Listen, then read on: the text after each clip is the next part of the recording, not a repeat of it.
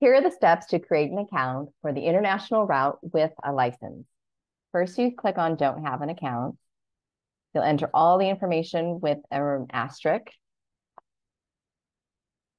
Then under Select a Route, you'll select International. You'll type in the name of your school. Create a password.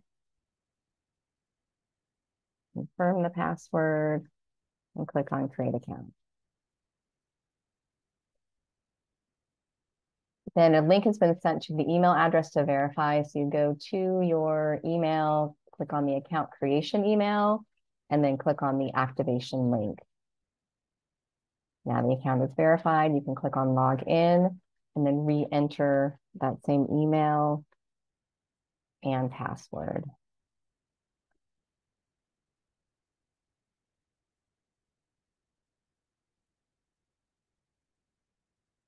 I'll log in.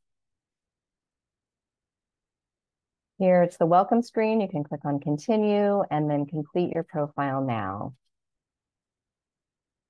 Here you can see the information we entered in the in the account creation comes is pulled in. If you need to edit anything, you can click on this blue um, edit button in the right hand corner. You want to complete everything that is on the left hand side in pink. So address information. Click on save. Then under educational information, uh, it's pulled in from uh, the account creation. If you have any highest non-homeopathy education, you would include that here and any other credentials. And do you have a medical license? Um, if you click on yes, and you select the type of license that you have from the list here, and then um, insert your license number there and click on save. And then the demographic information.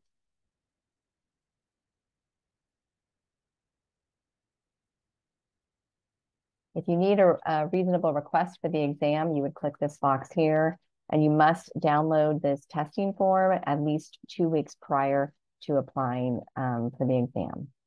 Click on save.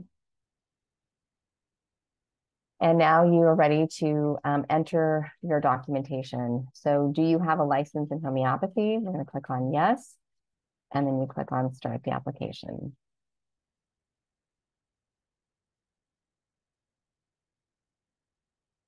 And then so here under license, you would uh, click on view. There are several sections to complete.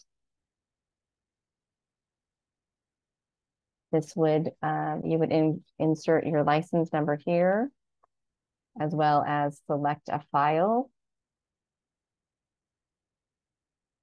Click on open and save. And then yes, save it.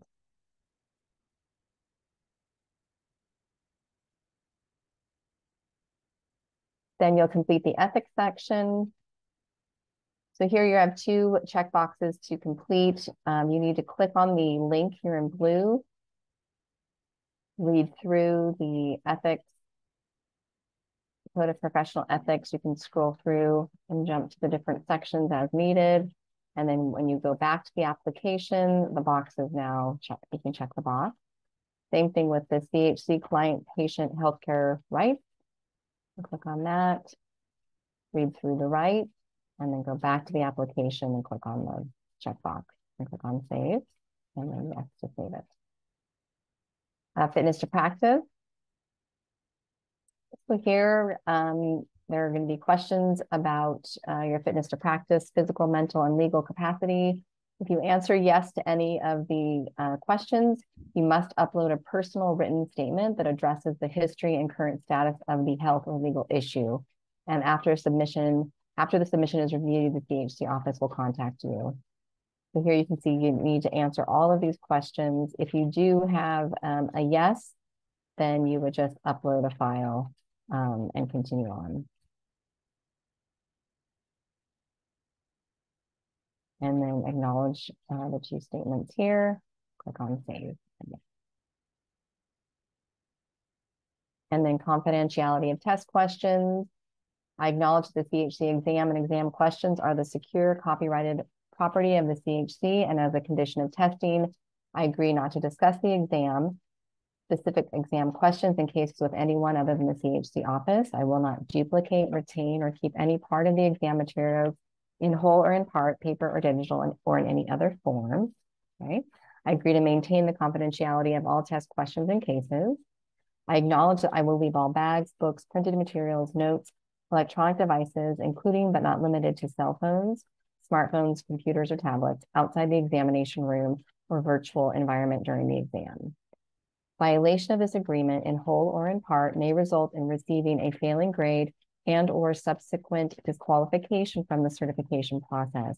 If there are any irregularities or adverse events during the exam administration, please report them by telephone and email uh, the office within 24 hours. Save and yes to save it. And so here you can see we've completed everything in blue and now we need to go to complete and pay. So I have read and understand and agreed to the sections ethics, fitness to practice and confidentiality of test questions within this application. And to the best of my knowledge, the details I have provided are true and correct. And then we sign and then go to pay and pay.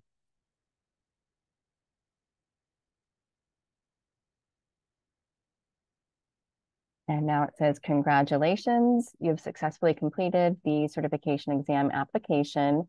We will review your application within two to three weeks, and you'll receive an email notification of the application status, either accepted, correction requested, or denied. Once the application is accepted by the CHC exam committee, uh, then you can go ahead and pay the exam fee to receive a voucher to register for the exam. Um, and then I here I have the my payment details. And if I need to view my receipt, I can do that there.